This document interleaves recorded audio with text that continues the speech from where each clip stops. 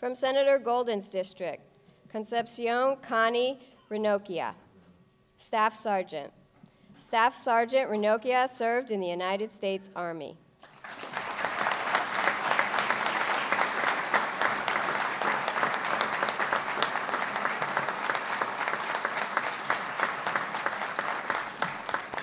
Congratulations.